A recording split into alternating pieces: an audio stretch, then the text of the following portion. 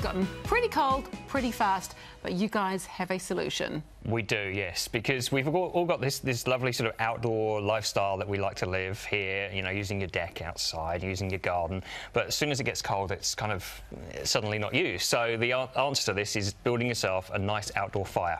Oh, okay. This seems pretty easy. Yep. It- yeah, it does. is actually fairly easy, is. and you, there's plenty of DIY products out there that you can build if you're not um, the type to design your own up and get the bricks off trade me, get the cement from you know Bunnings, go here, there, and everywhere. That sounds far too hard. Yeah, which is quite hard work. But you, the, the kit set ones that are available, Hamish has built one. You have. You'll see some pictures now of my sweet kit set. Not not himself, to be fair. He didn't build them. I was there helping, um, but I um, Watching. I, I may have been watching. Yeah. But I, I was there nonetheless. It was raining and miserable, so I needed some help, and uh, the builders chipped in, so we had a quality product at the end. the Um, builders Right. chipped Yeah. in. Yeah, there was there were cries of don't let Hamish anywhere near Ah, it. there it is, As you can that. see, it's very smart. Yeah, that looks is, good. yeah.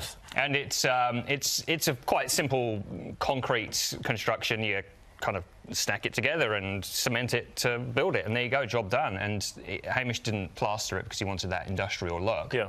Ah, and beautiful. You can plaster it if you want, or you could clad it in bricks or tiles, or you know however you want it to look. But with what Hamish was building, it needed It that worked, look yeah. to go with a quite There's contemporary a different looking house. stages. Is it a particularly hard thing to build? It's heavy. and, th- and that's Oh, yeah. it. It- It took two builders to lift the parts up. Right, and, And- one man to take the And photos. to take the Yeah. photos. Okay. From the warmth of a car. I was in the car. I was in the truck. Yeah. Okay. in the lounge. So that's one option. What is? Are there any other options for outdoor fires? There are. Um, uh, for a client of mine once had to find an outdoor fireplace alternative. Uh, client wanted a wood burner.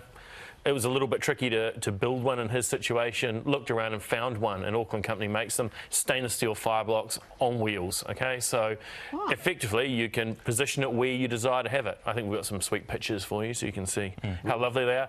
Um, there a little bit dearer, you know, than, than like the concrete form sort of style one, uh, but durable. You can take it with you, which is always you nice. move. Yeah, Yeah, so if you yeah. move, so for a slightly bigger investment, you get to keep it, of course, for forever. And you can actually just wheel it round. You can wheel it around. It's, it's almost like wheeling a barbecue around. That sort of principle. It's quite a nice idea because you know wherever the wind is at, the, at that Yeah. point in your garden, you can move away from it. A- and, you can push it away and use it as a focal point. So in winter, you could be inside still with your fire, perhaps perched looking up, at looking it. at it. What about permits and things like that? Yeah. I was just thinking that. Do you need a permit? It's a delightful way not to mm. need a permit. Yep. Because it's oh. effectively like a barbecue. Okay, sweet. So you get away with it, really? You can. Yeah. I mean, you can't go and push it up next to your neighbour's fence and, you know, billow smoke. No. But, you, but the answer is yes, you can bring it in. It's more classified as a barbecue. You can actually get hot plates for it. And that's the thing to consider because different councils have different building regulations around permits and things like that. So if you are going to build one, make sure you check with your council first on what Yeah. you are actually allowed to do before you build it.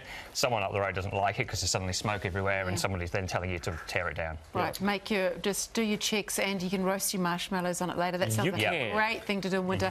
Hey, uh, well, Hamish and Alex, thank you so much. You're welcome. Enlightening. I really want to fire now. I know, and they were very well behaved. We were. weren't Uh, we always sound surprised. They've done a couple in a row where they've been not too badly behaved. So nice work, guys. Have a great weekend, by Thank the way. you. Enjoy You your too. long weekend.